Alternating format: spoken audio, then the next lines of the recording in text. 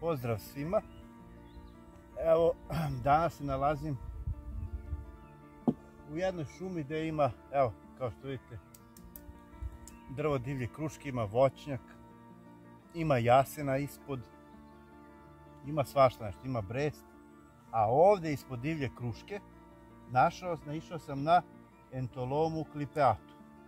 Entoloma klipeatum, dakle šljivovača koja je još jedna od prolećnih jestivih gljiva, pored kalocibe gamboze ili flavide ili takozvane đurđevače, dakle još jedna u nizu koja raste ispod stabala voćaka, kao što su kruška, jabuka i tako dalje.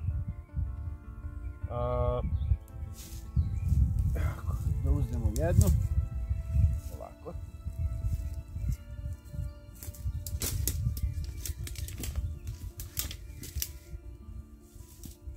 Evo su ovdje.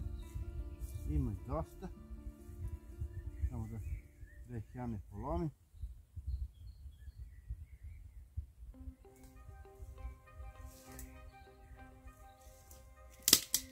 Dakle, evo da vam to bliže ovako pokažem. Vidite kako je ona lepa. U početku su beli listići, ali poslije imaju i rozikast ocijaj. Kao na primjer ova starija. Ona jeste ovako, možda ne znam koliko se vidi na kameri, ali ona ima rozikast osjećaj. Znači šljivovači imaju entolome, imaju te rozika ose na, na listićima. Znači, evo vidite, mala, lepa sočna gljiva. Sad će da se približimo malo bliže da vam pokažem izbliza i to je to, idemo dalje. Evo malo bliže perspektive da vidite kako ona raste. Neke su malo i prošle, propadaju. Evo ova, na primjer, nije. Vidite. Leti. Hm?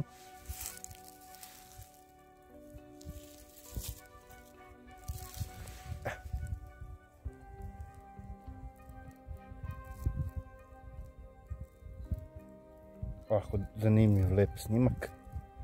Izbliza. Vidite boju. Ako se u nekom trenutku fokus počne širi, menja, šta da radimo tako je kako je. Uglavnom evo da vidite kako izgleda entoloma klipeatum, znači rastu ispod voćnjaka. Dobro, ajmo dalje. Evo nas ponovo da proširimo priču malo. Dakle, pored ove jedne koju sam našao. Znači da malo da proširimo pričicu. Evo je ovdje. Evo su ovdje. Idu ovako u krug uglavnom. Šire se na tamo. Znači, ova jedna. Evo imate ovdje. Evo su. Naravno, može još i da porastu. Tek počeli se otvaraju. Vidite. Da vidimo. Možemo li neku bližu perspektivu da napravimo? Možemo, svakako da možemo. Super, odlično. Još jedna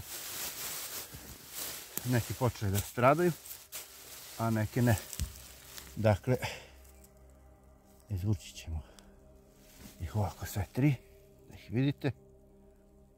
Entaloma kritatum. Znači, to su šljivovače. Imate entoloma sepium, a to je isto, znači, jestiva Iva samo što je bele boje. Dok ovaj, vidite, imate tu neku, ima tu neku krem boju. Možda bude sivkasta malo. a imate ovaj znači evo vam ta perspektiva hm, šta kažete zanimljivo da znači to je ta Evo još jedna. Znači, našli smo entolomice. Našli smo entolomice. Ovaj. Znači sad ćemo malo da prođemo ovdje. I da vidimo što ima još. Evo tu. One tu neki vidite. Neki tek rastu. Vidite ovdje tu. Tek rastu. Evo su. Njih da ne diram. One tek rastu. Zato pa ćemo ih. Evo su ove ovdje. Isto tek, tek male su. Nisu baš, ali stradaju i takve ne porastu, ni stigni da porastu. Evo ova je dobra. Ovo je opasno.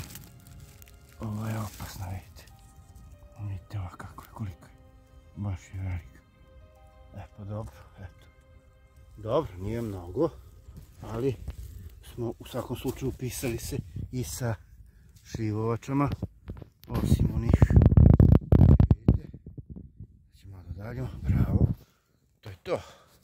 Znači upisali smo se sa Đurđevačom, s jednim hibridnim smrčkom, sa verpom bohemikom i sada sa šljivovačom.